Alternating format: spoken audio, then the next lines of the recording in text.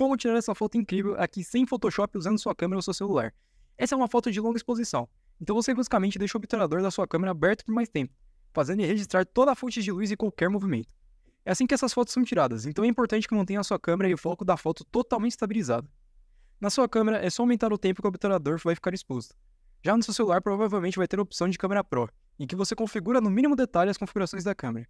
Então, é só baixar a velocidade.